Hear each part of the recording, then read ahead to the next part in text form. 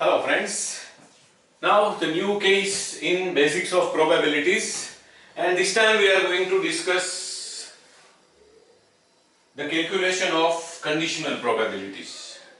The information available is P of A is 1 by 3, probability of A 1 by 3, probability of B is 3 by 4 and probability of A union B is given to be 11 by 12.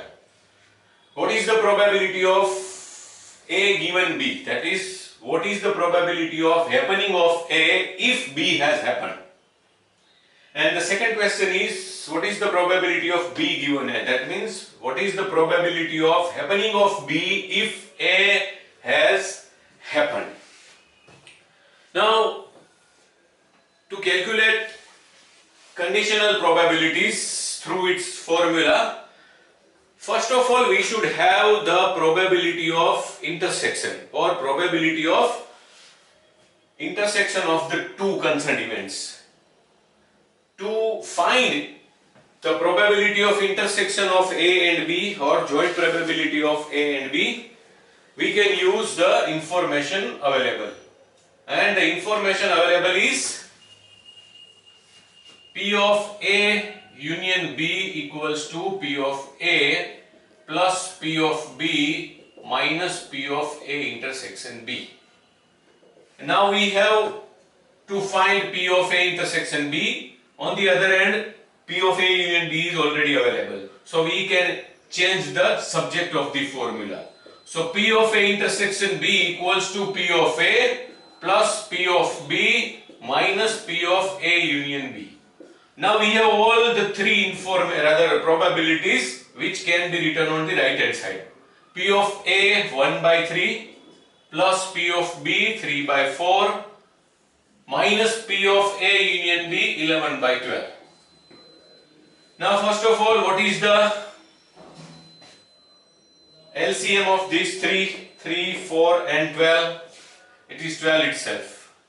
12 divided by 3, 4 into 1 4 plus 12 divided by 4 that is 3 3 into 3 9 minus 12 divided by 12 1 1 into 11 11 so it comes to 4 plus 9 13 minus 11 that is 2 by 12 or 1 by 6 this is P of A intersection B. Now we can calculate these two conditional probabilities. First P of A given B, probability of happening of event A if B has happened or B is also going to happen. That is P of A intersection B, the joint probability divided by probability of the independent event B or probability of the second event B and now P of A intersection B with us is 1 by 6 divided by P of B 3 by 4 and we are well aware that division of any fraction is multiplication of the inverse.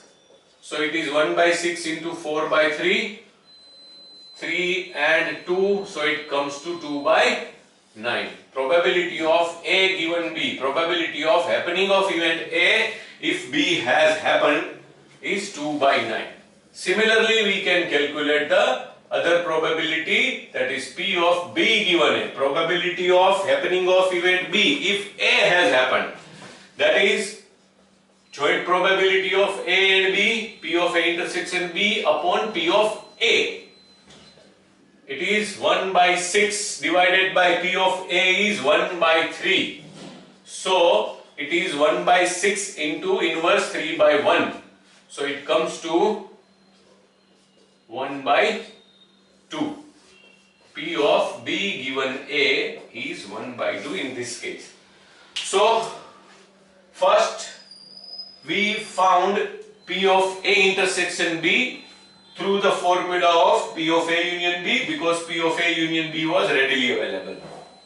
It is my suggestion whenever we need to calculate anything before finding the final answer, just use an item from the data available in the question, the item in which formula we can substitute the values and we can find the missing item. That's it. Thank you very much.